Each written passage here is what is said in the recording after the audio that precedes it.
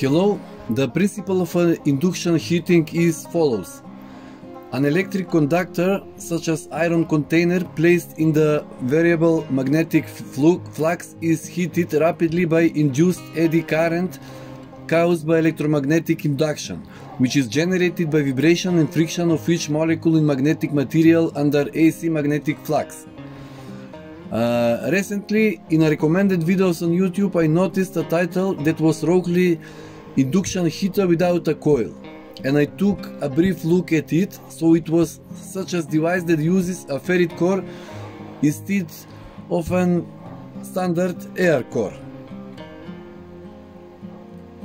Uh, the idea is really original and new so I decided to make it to make a heater like this and compare it to standard and flat pancake coil induction heating heater presented in some of my previous videos.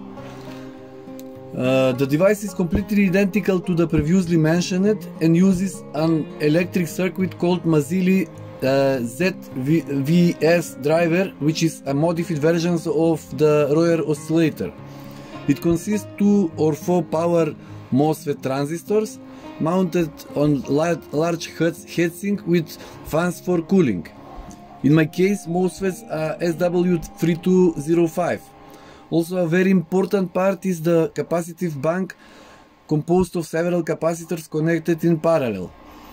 Uh, in this particular case there are 6 quality MKP capacitors with a capacity of 1 microfarad each and voltage of 400 volts. These two toroidal coils serve to limit the, limit the current. In this case the working coil is wound on an open ferrite uh, core. The core is taken from an uh, from a high voltage transformer from an old TV.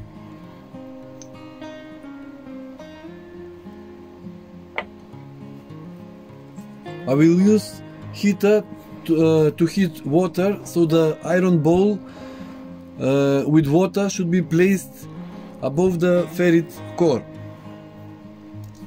If we want the circuit to oscillate with the same frequency as early mentioned devices, the number, the number of turns must be less than when the core is air, because the magnetic permeability of the ferrite core is much higher than that of air. The device is powered by 12 volts power supply from old server computer. The power supply must provide a minimum 20 amperes of current. And now let's see how the device works in reality.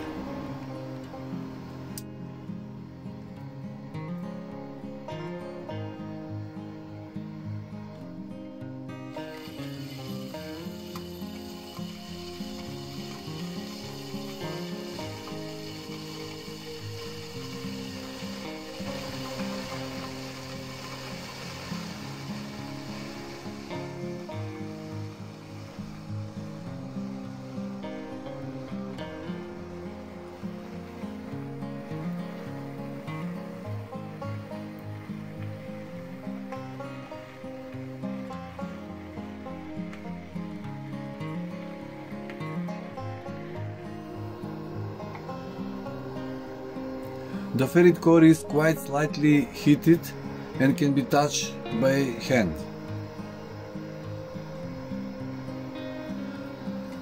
Uh, the next time when the water is hot, it boils almost, almost instantly.